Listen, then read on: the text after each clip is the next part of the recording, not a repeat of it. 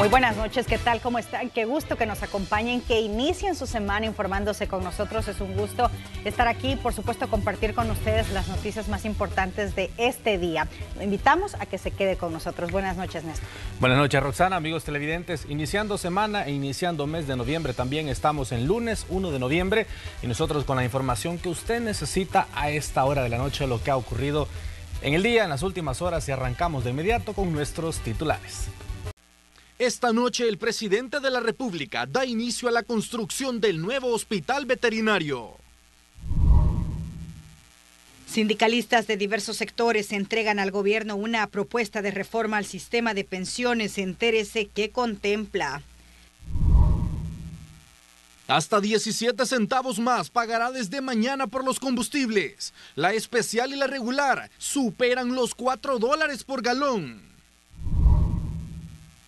La aplicación de la cuarta dosis de la vacuna contra el COVID-19 es una opción que aún no se descarta. Las autoridades de salud hablaron del tema. Un doble homicidio y el hallazgo de un cadáver en una posible escena de liberación fueron algunos hechos violentos registrados en las últimas horas. En noticias del mundo, a 5 millones asciende la cifra de fallecidos por el COVID-19 en casi dos años de pandemia. Los países con más muertes siguen siendo Estados Unidos, Brasil y la India. Comenzamos en la Comisión de Hacienda y Especial del Presupuesto. La ministra de Economía explicó cómo se utilizarán los recursos solicitados como parte del presupuesto general de la Nación 2022. Se estiman unos 139.6 millones de dólares como presupuesto de la rama económica en el país dentro del anteproyecto de ley presentado por el Ejecutivo como presupuesto general de la Nación para el año 2022, un incremento de 19 millones en comparación al presente año. La ministra de Economía explicó a los diputados que se utilizarán 17.3 millones adicionales para subsidiar el gas licuado. En cuanto a la distribución de nuestro presupuesto, eh, como verán en pantalla, eh, estamos eh, ejecutando un total de un gasto corriente de 139.6 millones, de los cuales en transferencias corrientes se encuentra, digamos, la, parte más grande, que son esos 85.7 millones encaminados a acompañar a los hogares salvadoreños por medio el subsidio del GLP. Otro de los rubros que pretende potenciar esta rama del Estado en 2022 es a la formación y fortalecimiento de empresas que permitan un crecimiento en la economía salvadoreña. Nuestro enfoque es básicamente en crear todas las condiciones para que nuestras micro, pequeñas, medianas empresas puedan establecerse, que hayan cada vez más empresas en nuestra economía eh, y que éstas puedan operar de una forma ágil y que éstas puedan crecer de una forma ágil, apoyarles a hacer realidad esos sueños. El presupuesto para los proyectos del Ministerio de Economía como institución será de 20.55 millones. Además, distribuirá 30.78 millones en sus ocho instituciones adscritas, como Defensoría del Consumidor, CIFCO, INSAFOCOP, Superintendencia de Competencia, entre otras. Néstor Hernández, Noticiero Hechos. Y haga ajustes en su presupuesto porque los combustibles incrementan de precio desde este martes. La especial aumenta hasta 17 centavos, la regular 16 centavos a nivel nacional, mientras que el diésel sube 15 centavos de dólar. Los precios estarán vigentes hasta el 15 de noviembre, esto de acuerdo al Ministerio de Economía. Los cambios de precios según lo que confirman las autoridades, se deben a factores externos como las bajas en las reservas de gasolinas y diésel en los dos últimos reportes brindados por la Agencia Internacional de Energía. La limitada disponibilidad del gas natural y la incertidumbre por la, por la próxima reunión de la Organización de Países Exportadores de Petróleo y sus aliados. El presidente de la República, Nayib Bukele, informó a través de sus redes sociales que el mercado internacional de combustibles ha tenido fuertes alzas en sus precios y el país no está pues exento de estos golpes al bolsillo. Por eso, en la empresa estatal Chivo Wallet han llegado a acuerdos con las empresas gasolineras del país para evitar ese impacto. Detalló que el descuento será de 30 centavos por galón de combustible de cualquier tipo y no tiene límite de consumo y beneficiará a distintos sectores del transporte. Además dijo que este ahorro también servirá para que las empresas no tengan que trasladar el costo del incremento del precio de los combustibles a los consumidores, ya que también pueden hacer uso de ese descuento que es mayor que el incremento en el precio del mercado. Sindicalistas de diversos sectores presentaron una propuesta para la administración de fondos de pensiones, el cual aseguran debe ser público. Junto con el ministro de Trabajo esperan llegar a un consenso que beneficie a los trabajadores. Veamos.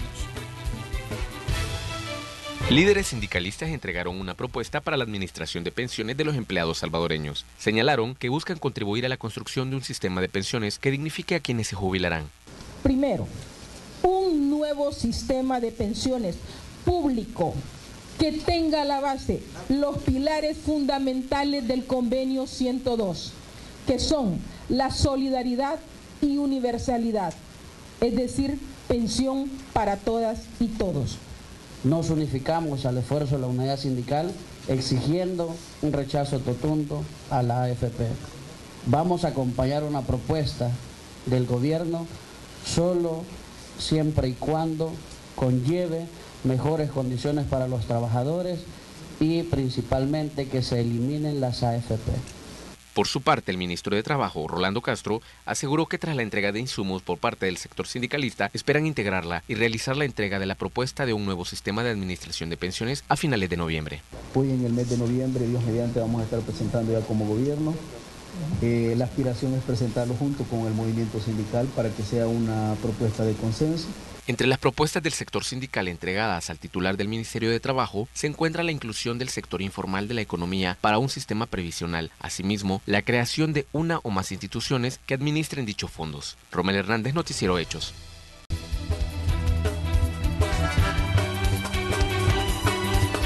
Son las 8 de la noche con 13 minutos y trasladamos nuestra señal hasta la comunidad La Cuchilla, esto en Antiguo Cuscatlán, donde el presidente de la República, Nayib Bukele, coloca la primera piedra del hospital veterinario anunciado hace unos días. Escuchemos. En otros lugares generalmente. Aquí no, aquí es dinero que se va a ver aquí. Y lo va a ver no solo el pueblo salvadoreño, sino que lo, va a ver en este caso sus mascotas.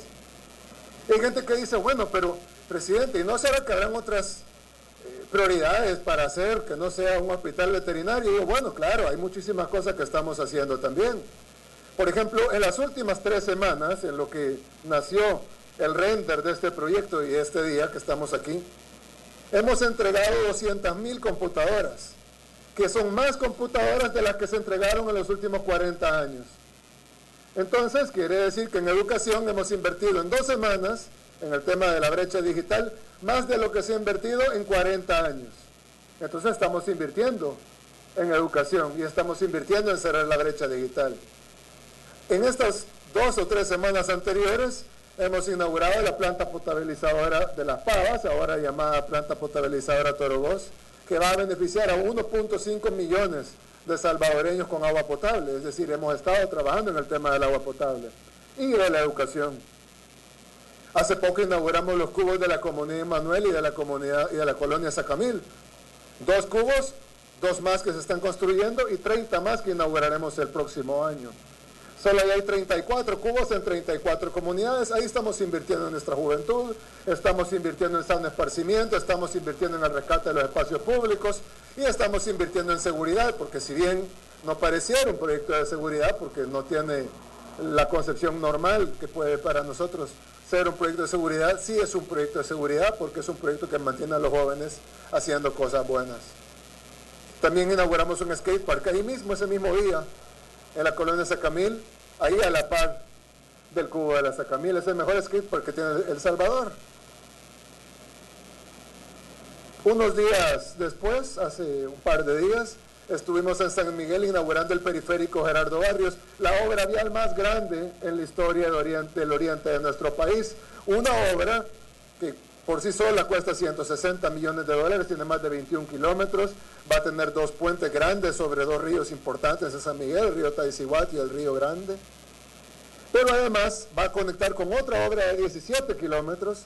Vamos a hacer inicialmente el primer paso de desnivel de la zona oriental. Aquí tenemos uno, pero en la zona oriental no hay ninguno. Del río Lempa hacia la Unión no hay ni un paso de desnivel. Y no solo vamos a hacer el primero, sino que ahora vamos a hacer los tres primeros. Porque la comunidad nos pidió tres pasos de desnivel y vamos a hacer los tres primeros pasos de desnivel. El uno, el segundo y el tercero, hecho por nosotros. Porque los demás no hicieron nada en el oriente del país. Y aparte de los dos puentes grandes, la comunidad nos pidió 10 puentes pequeños en diferentes municipios de diferentes departamentos, incluyendo la Unión, por ejemplo. Se van a hacer 10 puentes, aparte de los dos puentes grandes que estaban incluidos en, el paquete, en los paquetes del periférico Gerardo Barrios. Y también nos pidieron tres muelles para los pescadores, para la pesca artesanal, así que vamos a poner tres muelles también. Y también nos pidieron que arregláramos la calle al Cuco y el acceso, los otros accesos y salidas del periférico para que no solo fuera una obra, sino que fuera una obra que arreglara toda la zona vial de San Miguel y sus alrededores. Es una inversión gigantesca de más de 200 millones de dólares que va a ser en obras viales en San Miguel. Y alguien puede decir, presidente, pero ese es Oriente, aquí no estamos en Oriente. Y además también la gente de Occidente dice, bueno, ¿y qué están haciendo para nosotros? Bueno, en Occidente estamos construyendo el periférico Claudia Lars. ¿Y en, cuándo vamos a poner la primera piedra del viaducto Francisco Morazán? En el primer semestre del próximo año, o sea, y el otro año que está encima, ya prácticamente encima de nosotros, vamos a construir el viaducto Francisco Morazán. Solo para darles un ejemplo, el puente más largo de nuestro país es el puente de Camino Sur City, hecho en este gobierno. ¿Qué largo tiene? ¿300? Tiene 360 metros y es el puente más largo de nuestro país. No hay otro puente más largo. Solo para ponerlo en perspectiva, el viaducto Francisco Morazán va a ser el triple de largo que el puente de Camino Sur City y va a arreglar el tráfico de la carretera Los Chorros, que mucha gente sufre todos los días el tráfico de esa carretera. Y no solo va a ser el viaducto Francisco Morazán, sino que se va a arreglar toda la carretera. Y va a conectar al final con el periférico Claudia Lars. Entonces, son obras también en, el occidente del país. También en educación. Alguien dice, bueno, presidente, pero está hablando de salud de mascotas. ¿Qué tal de la salud de los humanos? Bueno, en salud de los humanos. Aquí cerca tenemos el Hospital de Salvador, que es el mejor hospital de Latinoamérica. Ahí escuchamos las declaraciones del presidente de la República, Nayib Bukele, quien en este momento está inaugurando la construcción del hospital veterinario, esto en la comunidad La Cuchilla de Antiguo Cuscatlán, según lo que anunció días atrás respecto a que utilizará 4 millones de dólares sobrantes del fideicomiso del Bitcoin y con el cual espera, pues ya lo anunciará en los próximos minutos, pues construir 12 consultorios básicos, 4 de emergencia, 4 quirófanos y así muchos detalles que se brindarán en los próximos días. Nosotros continuamos con la información hablando que en nuevos hechos violentos en las últimas horas, dos personas fueron asesinadas en Santa Ana. Veamos quiénes son las víctimas y cómo ocurrieron los hechos. Dos hombres fueron asesinados en el cantón El Guineo, municipio de El Congo, en, Santa Ana. De acuerdo con los familiares, una de las víctimas trabajaba en una empresa constructora y venía de departir cuando fueron atacados. Mientras la PNC sostiene que son miembros activos de grupos criminales. Él ha sido siempre un trabajador, él. Sí, todo el tiempo allí. Todos lo felicitaban que trabajaba bien. ¿Qué hacía él ahí? Era soldador. Soldador. Sí. Este, ahí trabajaba él. De acuerdo con familiares, en la zona se registran hechos delictivos frecuentemente. Aquí inseguro ahorita porque, bueno, cada rato asaltan ahí, todo, teléfonos, todo eso le quitan a uno cuando pasa por él. ¿Es primera vez que sucede un caso de homicidio? No, ya, ya hace bastante, hace como 12 años mataron otros dos muchachos, a dos hermanos. Pero que hayan habido muertos ya no, pero que asaltan sí cada rato. Las autoridades no brindaron más detalles sobre el doble crimen y aún se desconoce el móvil. Con imágenes de Jeremías Sánchez, este es un informe de Marcela Rivera. Y el cuerpo sin vida de un hombre fue localizado en el kilómetro 14 de la carretera de Oro, en el sentido que de Apopa conduce hacia San Salvador. Las autoridades de la PNC, al ser alertadas, llegaron al lugar y determinaron que el hecho podría tratarse de una escena de liberación tras haber sido encontrado a la orilla de la carretera y un lugar con poca iluminación, aunque no se conocieron más detalles. En otros temas, el ministro de Salud Francisco Alaví aseguró que de momento el país no aplicará una cuarta dosis de la vacuna contra COVID-19, aunque no se descarta dicha medida si así lo determinan los estudios científicos. Veamos. La aplicación de una cuarta dosis de la vacuna contra la COVID-19 no está de momento en los planes para el Ministerio de Salud. Sin embargo, no se descarta que mediante el avance de estudios dicha medida pueda ser aplicada, sobre todo para personas con enfermedades graves. ¿Qué es lo que sucede en la persona inmunosuprimida? La capacidad de generar anticuerpos está disminuida. Y, si bien es cierto, ya recibió sus dos dosis, eh, evidentemente, o sus tres dosis, evidentemente esa capacidad de elevar titulaciones de anticuerpos es menor y esto puede poner en riesgo. Hay ciertos grupos vulnerables en los que se ha valorado de una cuarta, quinta dosis. Esto va a depender mucho de lo que se esté observando a nivel internacional. Todavía no está estandarizado, se sigue estudiando y un dato muy importante va a ser, o, probablemente, esto es eh, una situación que probablemente va a suceder es que la vacunación ante el COVID-19 va a continuar para aquellos grupos de personas que tienen mayor riesgo, así como si usted está aplicando una vacuna de la influenza.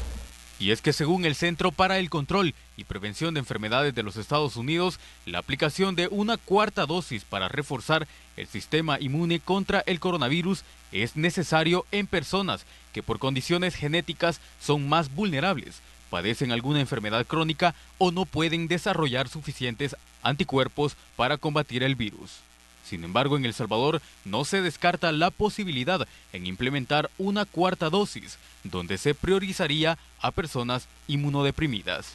Cuando usted aplica la vacuna, usted le está generando al cuerpo una manera de identificar y de generar una respuesta de defensa que es basada en anticuerpos y El Salvador ha tomado la pauta de poner una aplicación de una tercera dosis después del cuarto mes de aplicar la segunda dosis de la vacuna. Esto incrementa mucho más la titulación de anticuerpos ante el COVID-19 y no solo eso, sino que genera mayor memoria, lo cual le permite al cuerpo seguir siendo suficiente en la producción de estos anticuerpos. Ahora bien, las autoridades de salud aseguraron que continuarán con el plan de vacunación.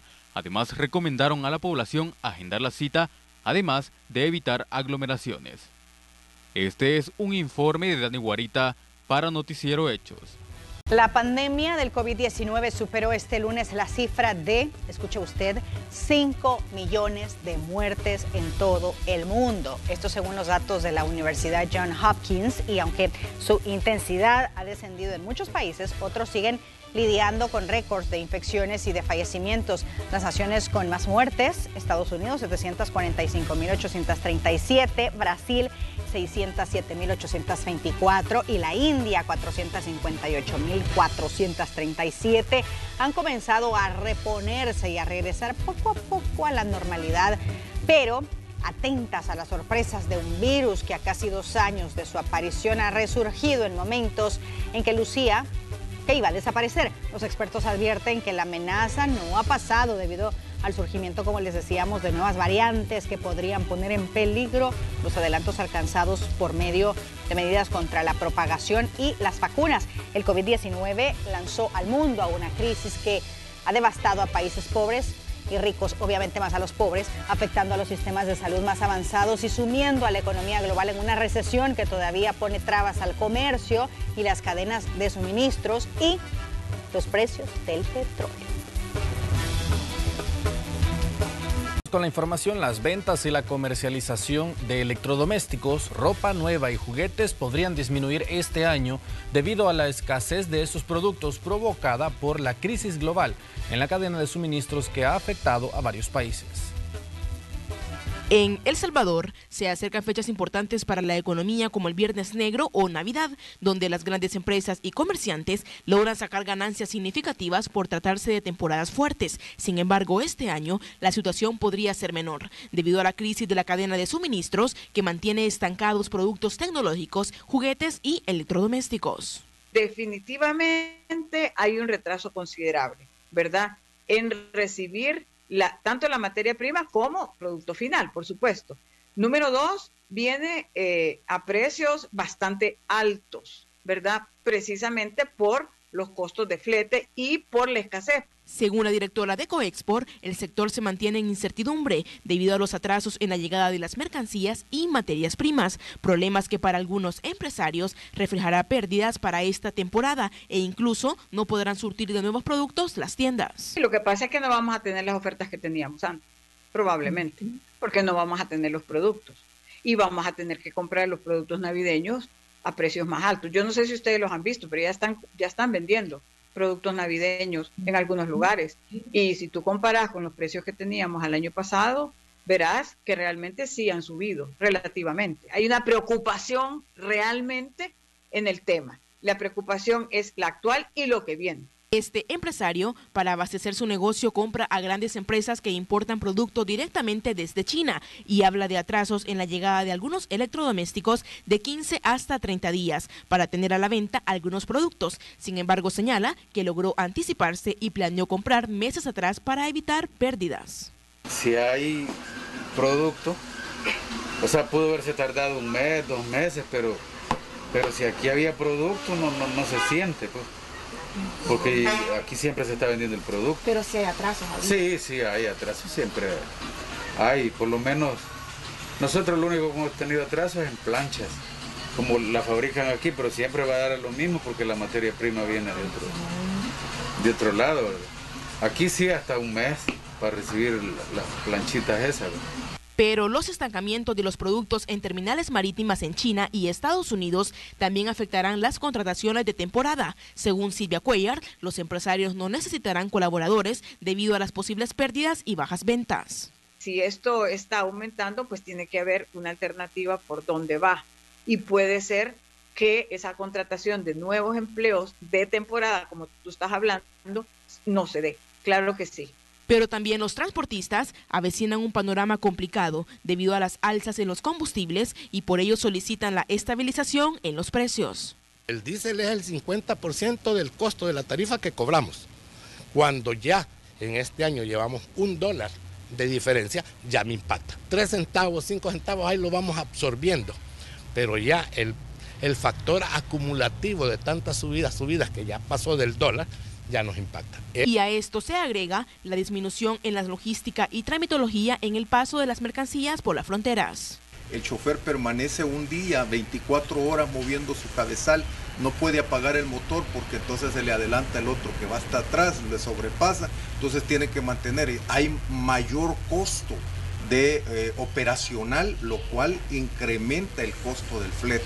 Porque aquí la clave está en la facilitación mercancía pase por, por, la frontera y pase adelante, ¿verdad? Entonces, por eso el esfuerzo que estamos haciendo es muy importante en el operador económico autorizado, porque eso le da a las empresas la viabilidad de ser confiable. La crisis global de la cadena de suministros podría durar hasta el año 2023, de acuerdo a representantes del sector logístico y de transporte internacional de mercancías.